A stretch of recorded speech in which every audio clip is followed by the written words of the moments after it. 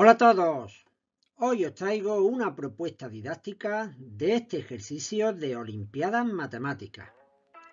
Lo más importante no será su resolución, sino centrarnos en el aprendizaje que hay alrededor de su propio enunciado y de todo el procedimiento. Fijaros bien que nos piden todas las soluciones de la forma x. Eso quiere decir que nos piden todos los pares de soluciones válidas pertenecientes a los números enteros.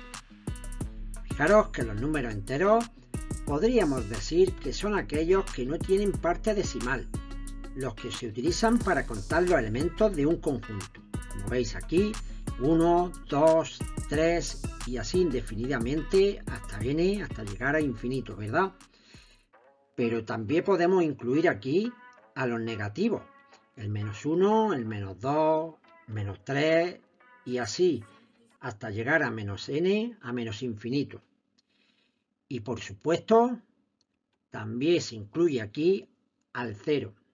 De modo que todos ellos, todo lo que veis en pantalla, son lo que llamamos números enteros y que se representan por ese símbolo que aparece en el enunciado, que es una especie de z.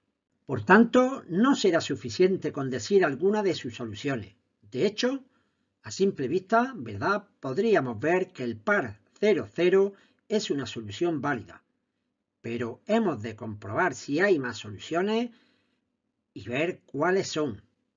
Eso sí, antes de nada, te reto a que primero lo intentes por ti mismo. Aparecen dos variables. Por tanto, quizás nuestra estrategia deba ir encaminada precisamente a ello, a buscar la forma en que solo tengamos una variable y por tanto será más fácil de afrontar. Se nos puede ocurrir en un primer paso, ¿verdad?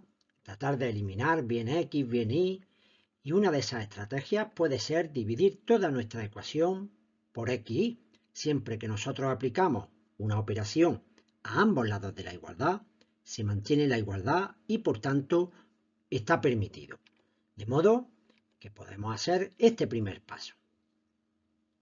Una vez hecho este paso, podemos ver qué podemos simplificar, qué hemos conseguido.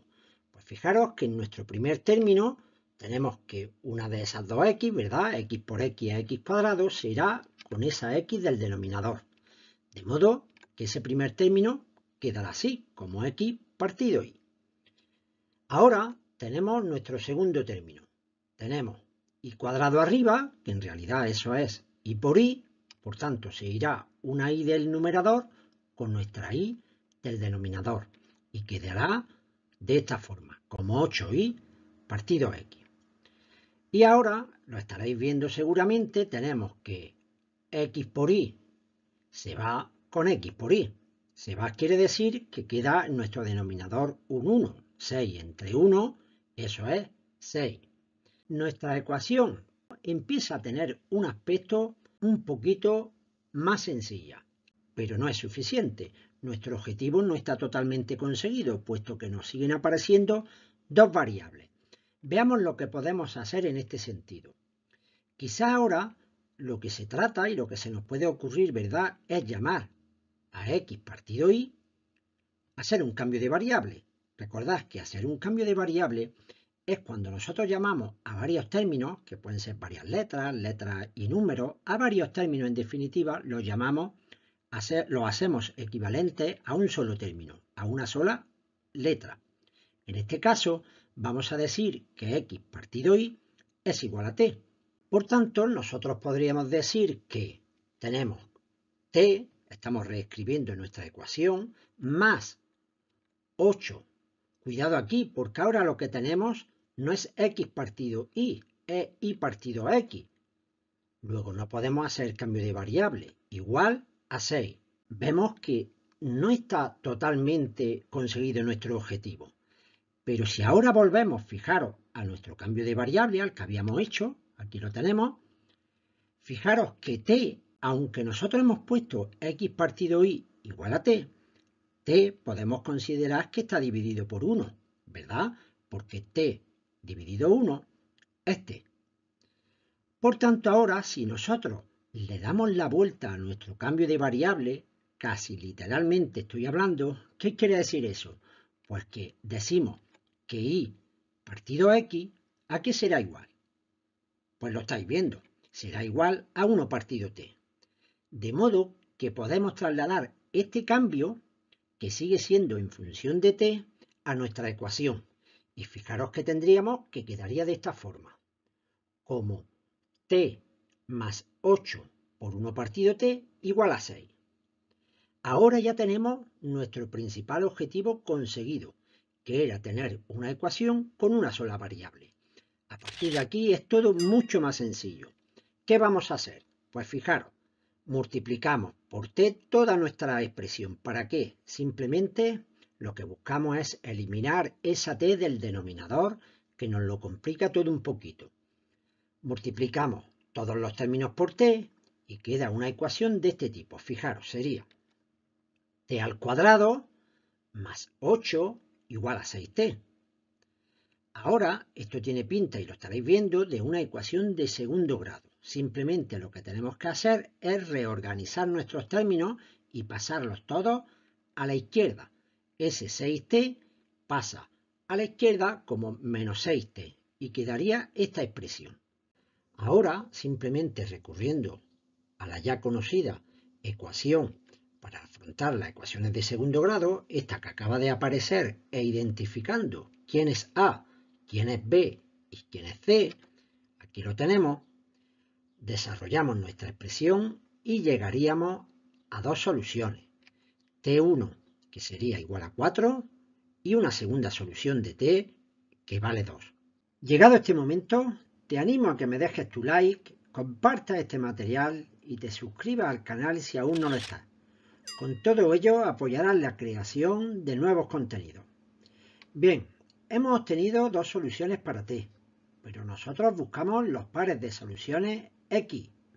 Tenemos por un lado que T es igual a 4, pero recordad que teníamos que T a su vez era igual a X partido Y. Por tanto, nosotros podemos decir que X partido Y, ¿verdad? Es igual a 4. Decir que es igual a 4 es lo mismo que decir, ¿verdad?, que es igual a 4 partido 1. ¿Pero por qué hago esto? Para reflejaros, para que veáis que de esta forma x será 4 e y será 1. Aquí tenemos nuestro primer par, la solución 4, 1. Y estaréis de acuerdo conmigo que todas aquellas soluciones en las que me lleven a que la división, el cociente entre x e y sea 4, serán soluciones de nuestra ecuación. Por ello, también sería solución 8, 2. Y de esta forma, multiplicando por un número entero nuestra primera solución, 4, 1, obtendríamos infinitas soluciones. Espero que lo estéis viendo. Pero tenemos que terminar de dar cuál es nuestra solución. Bien, pasamos antes a nuestra segunda solución, a la de t igual a 2. Por el razonamiento anterior, tenemos que x partido y será igual a 2 partido 1, ¿verdad? De modo que podemos decir que un primer par, que será solución, será la solución 2, 1. 2 entre 1, 2. A partir de aquí, todos los pares de soluciones que me lleven a un cociente, a una división igual a 2, de x partido y, también serán solución. Por tanto, lo será 4, 2, lo será, ¿verdad?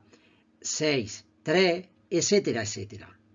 Pero ¿cómo podemos expresar, por tanto, el conjunto de todas nuestras soluciones? Espero que lo estéis viendo. En el primer conjunto, el de t igual a 4, podríamos decir que nuestra solución es 4n, n. ¿Lo estáis viendo? Y en nuestro segundo conjunto, el de t igual a 2, la solución será 2n, n. Y solo nos queda aclarar quién es n. Pues n será cualquier número perteneciente a los enteros.